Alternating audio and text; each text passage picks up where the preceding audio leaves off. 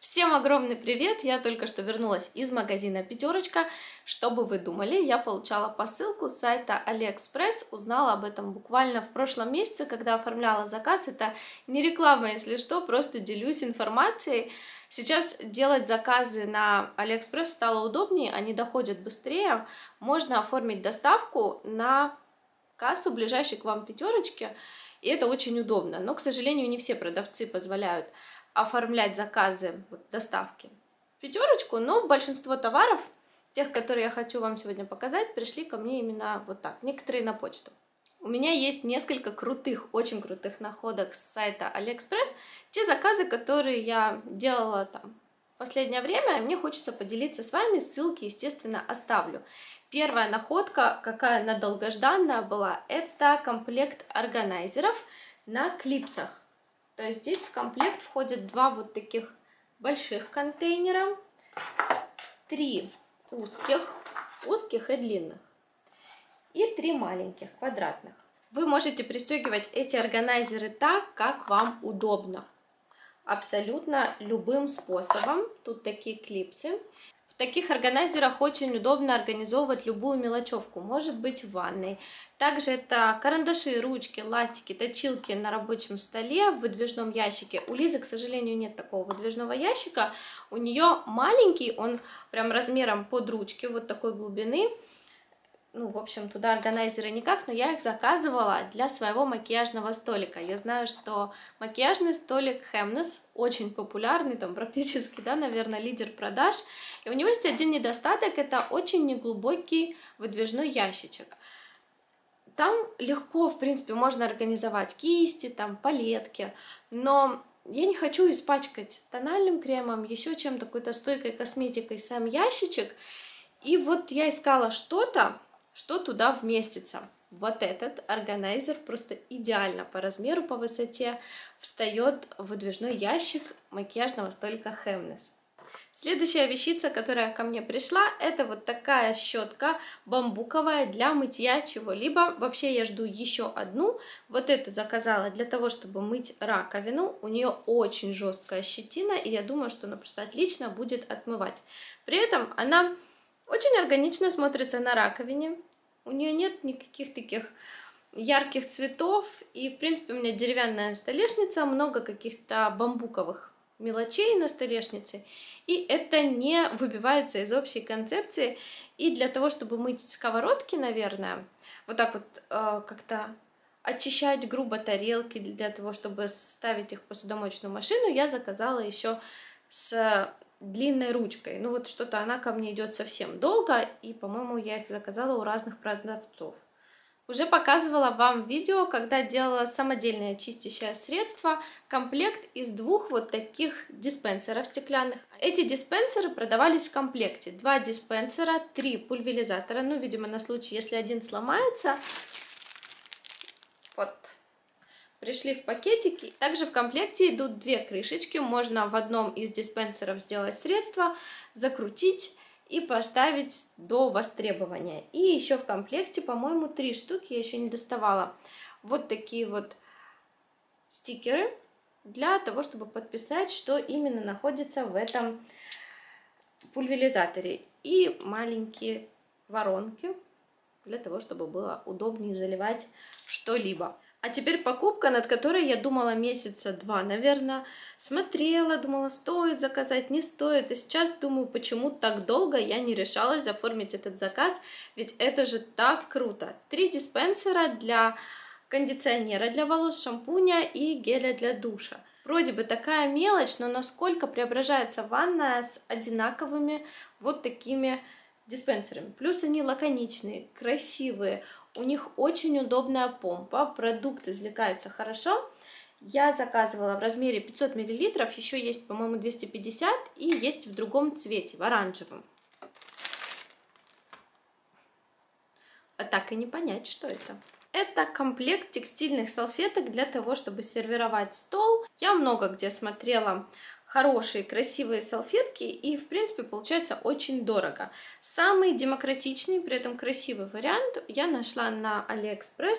Я взяла маленькие салфетки размером 20 сантиметров, Ну, все-таки это не для того, чтобы руки вытирать или на колени стелить. У меня не ресторан, но иногда хочется очень красиво засервировать стол с кольцами для салфеток. Их я, кстати, тоже заказала, но они пока ко мне не пришли.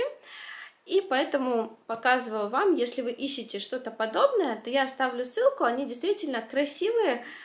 Я не уверена, что это сто процентов натуральный материал, по ощущениям нет, я пока их еще не стирала, это вот только сегодня забрала. Но они выглядят очень красиво, не выглядят дешево, потому что то, что я смотрела на других сайтах по этой же цене, получается, что они, знаете, такие прям синтетические. Ну и то, что я вам уже показывала, это емкость для хранения стирального порошка.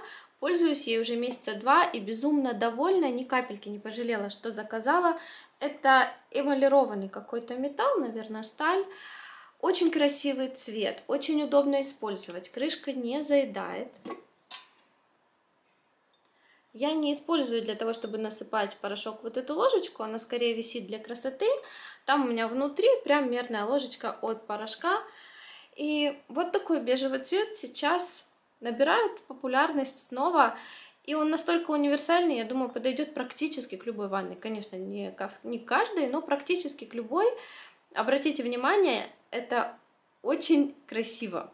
Потому что раньше, я помню, несколько лет назад покупала различные там коробки в виде стиральной машины, но это выглядит не так круто, как вот такого плана емкость для стирального порошка. На этом, в принципе, и все. Вот с Алиэкспресс всегда так, что ты заказываешь, чего-то постоянно ждешь, а по факту это не так уж и много. Я жду еще кое-какие заказы, но я поняла, что если я буду все заказы ждать, это видео, наверное, никогда не выйдет. А сейчас я хочу скорее заняться организацией своего макияжного столика вместе с вами. Меня сложно назвать минималистом как вообще, так и в косметике. Косметики у меня много, много кистей для макияжа, но я всем этим пользуюсь, не всем очень часто. Иногда чем-то я пользуюсь достаточно редко, но все-таки пользуюсь, потому что мне нравится что-то менять. Я не люблю пользоваться одними и теми же тенями, одними и теми же румянами и тому подобное. Мне постоянно хочется что-то поменять, это вот сидит в моем характере.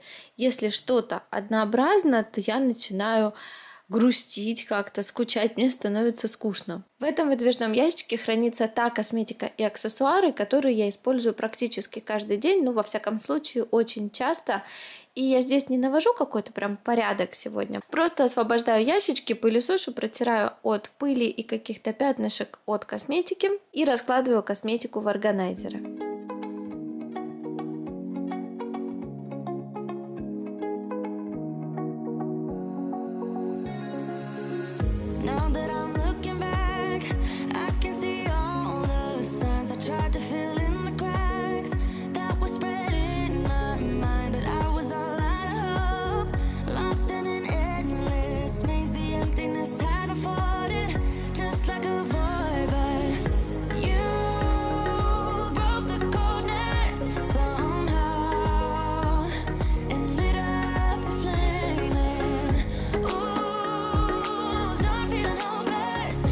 Вечером во время прогулки мы зашли с мужем на рынок и купили фруктов, овощей, я увидела тыкву. Поняла, что в этом году я еще не готовила тыкву, хотя я ее очень люблю. Но тыкву в нашей семье едим только я и Ульяна, а Саша и Лиза вообще не едят тыкву. Ну, Саша, в принципе, не то чтобы ее избегает, но запеченную тыкву он есть не станет, а я очень люблю просто запеченную тыкву с сахаром. Готовлю я ее таким образом. Очищаю тыкву, нарезаю не крупным кубиком, Помещаю форму для запекания, посыпаю так щедро сахаром и даю постоять 30-40 минут, пока тыква не выделит сок. И только потом ставлю ее запекаться. Она получается очень сладкая, вкусная, ее очень вкусно добавлять в кашу. Можно отдельно сварить рисовую кашу на молоке и добавить туда уже запеченную тыкву. Получается очень вкусно. Также, если вы вдруг не знали, тыкву можно есть сырой, и это еще вкуснее И на мой взгляд, иногда это еще вкуснее, даже чем приготовленная тыква. Она хрустящая, сладкая, но достаточно тяжелая на желудок, поэтому много есть ее не стоит сырой, но она, кстати, очень полезная и, по-моему, даже пользы в ней больше, если есть ее сырой. К началу новой недели я люблю приготовить какие-то закуски или овощи запечь, там отварить ну, на ближайшие 2-3 дня для того, чтобы была такая добавка к основной еде, и сегодня я решила приготовить морковь по-корейски. У меня есть просто отличный рецепт. Она получается гораздо вкуснее, чем любая покупная морковь по-корейски, а готовится очень просто. Самое сложное в этом случае натереть морковь. Для приготовления моркови по-корейски нам понадобится 1 кг моркови, 4 столовые ложки яблочного уксуса. Сразу хочу сказать, что у меня яблочного уксуса не было, я использовала обычный 9% столовый уксус, получается тоже хорошо. 2 столовые ложки сахара, 1 столовая ложка черного молотого перца, 1 чайная ложка соли, 3 дольки чеснока, растительное масло полстакана. Высыпаем все сухие ингредиенты к моркови, а потом вливаем масло с уксусом и хорошо-хорошо перемешиваем, просто чтобы все хорошо перемешалось. Накрываем крышкой или пленкой и оставляем в холодильнике на ночь.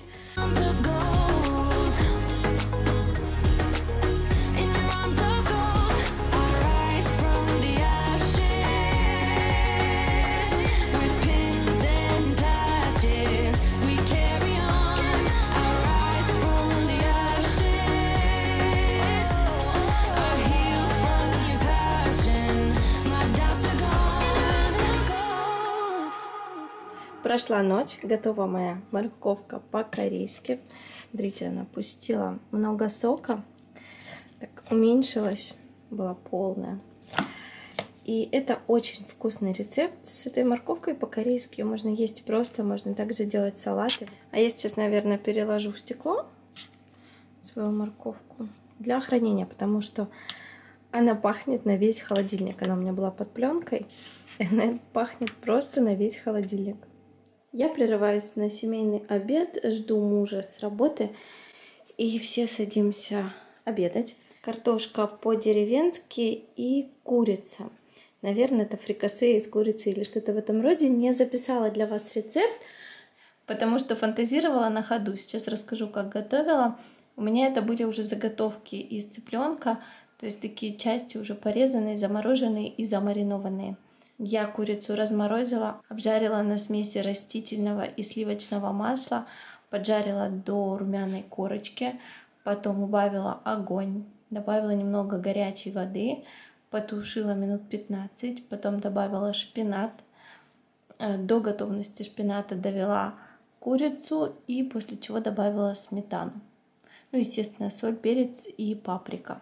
В последнее время я все больше замечаю, что все чаще уделяю время каким-то таким местам, которым уделяю время редко. И я поняла, что это тот самый какой-то осенне-зимний период, когда мне хочется навести порядок во всем доме, чтобы везде было идеально, красиво, везде было чисто и везде был порядок. Ну и раз такое дело, то я объявляю марафон порядка. Предлагаю вам вместе со мной уделить внимание каким-то забытым местам, навести порядок там, где давно это не делали, чтобы Глаз вообще ни за что не цеплялся, и к Новому году мы пришли с абсолютно чистым, красивым домом. После ремонта в прихожей я так и не сделала уборку в этих стеклянных книжных шкафах. Здесь очень много пыли, в том числе и вот этой строительной, все-таки она забилась чуть-чуть через щели. Поэтому сегодня я буду даже пользоваться пылесосом. Хочу протереть все, что там находится, хорошо расхламиться. В своей уборке мне с одной стороны хотелось полностью освободить полки, но с другой стороны не хотелось все это как-то уносить, э, содержимое шкафов разносить по всей комнате. Я просто убирала по полочкам. Сначала с верхней полочки все перекладывала на нижние, протирала, а потом расставляла так уже, как считаю нужным. Первым делом я все убираю с полок и решаю, что здесь остается, от чего я избавляюсь, а что уберу в коробку, где хранятся всякие памятные вещи. Если честно, я не дизайнер и ничего специально не покупала для того, чтобы как-то задекорировать этот книжный шкаф. Хотя мне очень нравится, когда красиво, как-то специально расположенные декоративные фигурки книги как-то специально художественно разложены на открытых полках или книжных шкафах, но у нас, во-первых, стекло не чисто белое. Когда стекло чисто белое, тогда все выглядит иначе. У нас оно затемненное. С одной стороны, затемненное стекло скрывает какие-то недостатки, какие-то недочеты, с другой стороны, прям красиво что-то расположить сложнее, потому что нет такого акцента на предметах, которые стоят внутри. Но я повторюсь, ничего специально не покупала. У нас книжные шкафы несут больше такую функцию хранения книг. Причем книги здесь хранятся всей семьи, и многие книги покупал еще папа мой.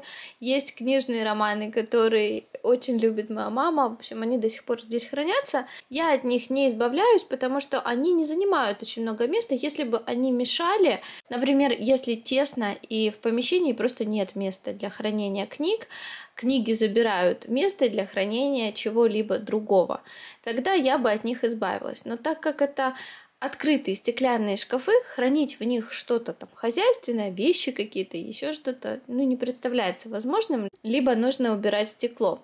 С непрозрачными дверцами, конечно же, я могла бы использовать этот шкаф по более практичному назначению, но есть так, как есть, в принципе, меня все устраивает, и мне очень нравится, когда расставляют книги по цветам. В интернете очень много таких красивых, вдохновляющих картинок. Книги при этом расставляют не ориентируясь по высоте книг, а именно по цветам корешков. И если в этом шкафу книг не так много, то в шкафу, где хранятся детские книги, я смогла разгуляться.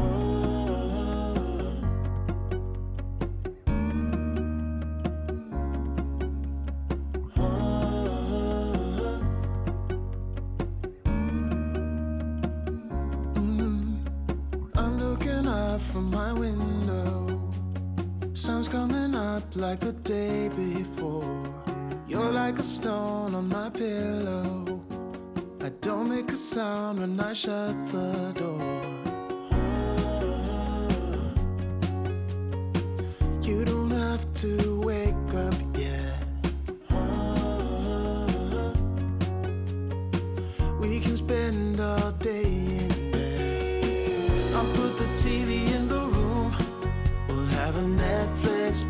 marathon. Kenny saxophone.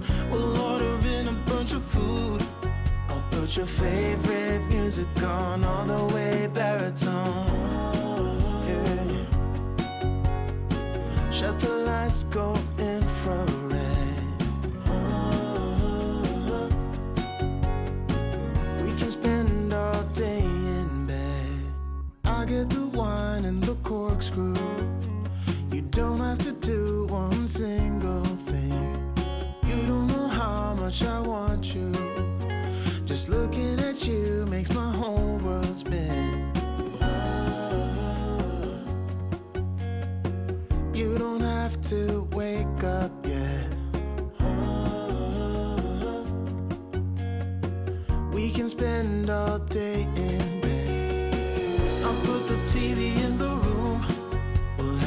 Кстати, здесь до сих пор хранятся мои учебники старших классов, начиная, наверное, с восьмого, ну, ближе туда, к десятому, а может быть только десятый, ну, в общем, разные есть книги, и история России, и химия, и физика, задачи по алгебре, контрольные работы по алгебре. И я от них не избавляюсь, потому что мне, если честно, современные учебники не близки. Мне также непонятно, почему в современных учебниках нет правил, которые введены в красную рамочку, как было у нас, это очень удобно. И не избавляться от учебников мне посоветовала соседка. У нее дети более взрослые. Она мне как-то сказала, когда у моих детей проблемы по учебе, я достаю свои старые учебники и говорю, открывай и читай. И ребенку все понятно. К сожалению, у меня не сохранились учебники за более ранние классы, но эти я решила оставить. К тому же есть разные учебные пособия и учебники по обществознанию, а эти Предметы очень полезны для поступления. Не знаю, пригодятся или нет, но они, повторюсь, мне не мешают. In.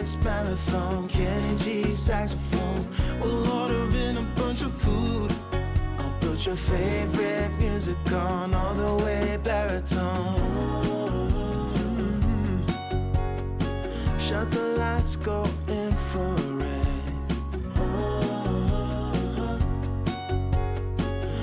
spend all day in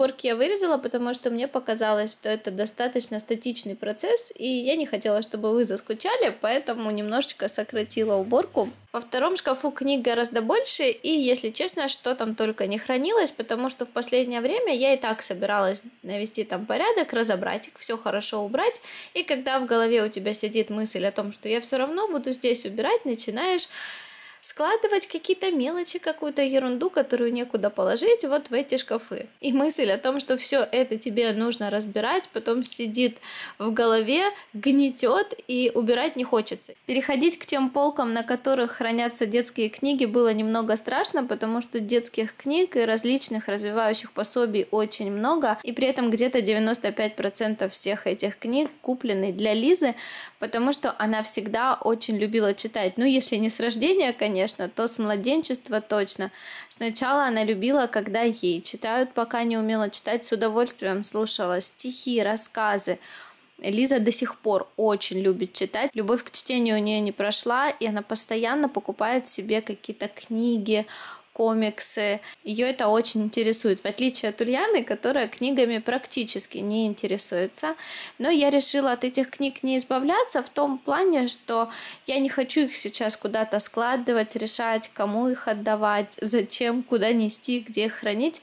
Я решила красиво расположить их по полкам, и если кто-то придет к нам в гости из родственников, у которых маленькие дети, вернее, когда к нам придут родственники с маленькими детьми, я скажу, что у меня есть книги, пожалуйста, а, на здоровье выбирайте то, что вам интересно и может пригодиться. К тому же я надеюсь, что у Ульяны проснется интерес к чтению книг, потому что я сама очень люблю читать, и для меня это нечто совершенно другое, чем просмотр сериалов или чтение каких-то статей в интернете. Так что от книг избавляться я не спешу, тем более здесь большинство книг все-таки не для малышей, а для более старшего возраста.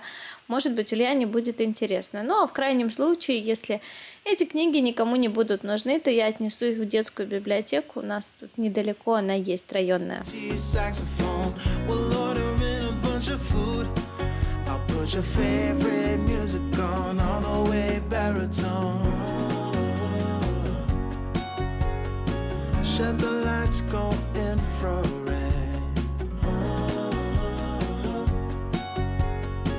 We can spend all day in bed. Вот такой вот результат у меня получился. Если честно, я безумно довольна результатом. А если еще представить, что эти книги стоят на белом фоне, то просто картинка из Pinterest. Я очень надеюсь, что этот ролик вас замотивировал, вы нашли в нем что-то полезное, каждый для себя. Обязательно подписывайтесь на канал, ставьте лайк этому видео. С вами была ваша Леля Власенко. До встречи в новых роликах. Всем пока-пока.